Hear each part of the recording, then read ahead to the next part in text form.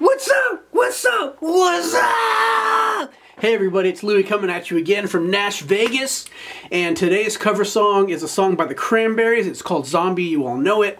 Uh, it was a lot of fun to do this song. So, you know, I'm had some issues this time doing the video, so I'm experimenting with the green screen, and I had a lot of noise, which is like the grainy, grainy stuff uh, with the, the video, but primarily you'll notice it on the drums. So if anybody knows like what causes that or how to fix it, like let me know. That would be really awesome. So please bear with me as I learn how to do these things. But uh, hope you guys enjoyed the song. So the song, my main guitar is tuned down to A, and then the auxiliary guitar is just tuned standard, so I can get all those cool little articulations and whatnot. So hope you guys like it. It was a lot of fun, and I'm ready.